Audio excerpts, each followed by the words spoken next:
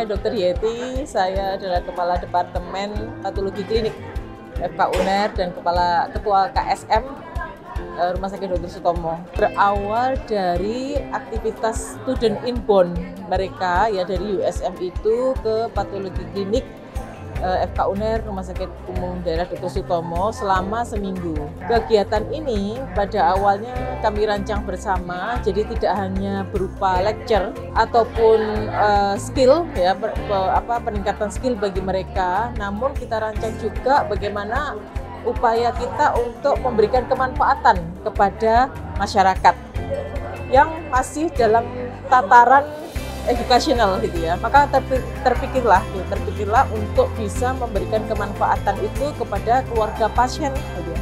dan uh, penderita juga otomatis ya. Nah kemudian kita pilihlah pasien talasemi ini karena pada pasien talasemi ini sudah tertata rapi adanya perkumpulan orang tua gitu ya. Kemudian kontrol rutin dari dari penderita itu yang sehingga mudah jangkauannya gitu ya dan selain itu juga ternyata output dari student inbound yang dilakukan oleh USM ini salah satunya adalah ada community services gitu ya. Sehingga paslah klub lah ya apabila kita mengadakan ya selain uh, lecture atau selain kuliah juga kita mengadakan kegiatan Pengmas Internasional ini.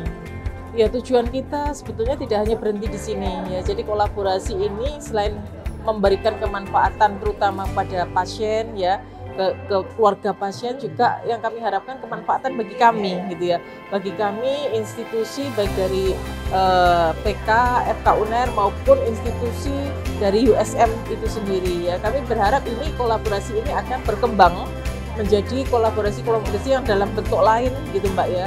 Jadi insya Allah nanti ada kolaborasi berikutnya yang masih merupakan yang atau bertolak dari kegiatan ini baik itu nanti webinar ataupun aktivitas lainnya mudah-mudahan.